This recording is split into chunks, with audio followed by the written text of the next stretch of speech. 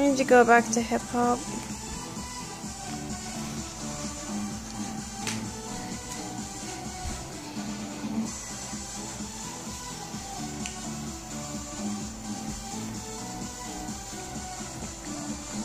This this is magic.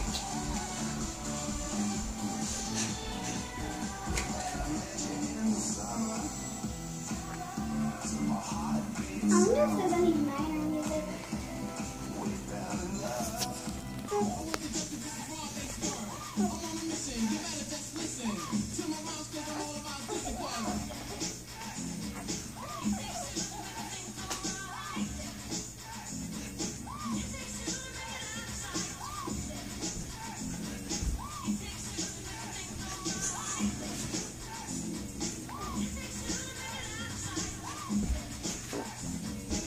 Eric's.